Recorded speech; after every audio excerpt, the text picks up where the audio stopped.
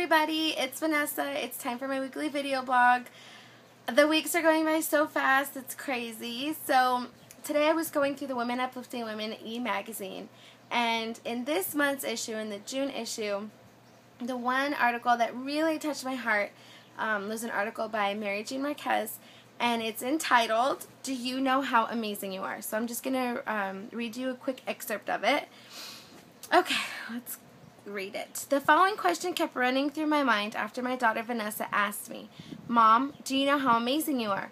My initial response was a blank look on my face with no words. After really thinking about that question and listening to my daughter's encouraging words, I had a wow moment. I realized that I know how amazing others are, but when it comes to myself, I hadn't thought about me.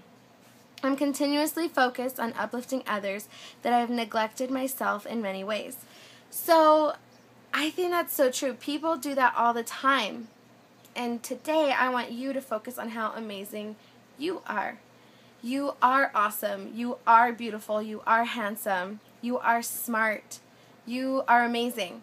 As my dad always says, God don't make no junk. God made you just the way you are. Know how amazing you are. Because you are. I promise you. You're amazing. So focus on that today, this whole week. You're awesome.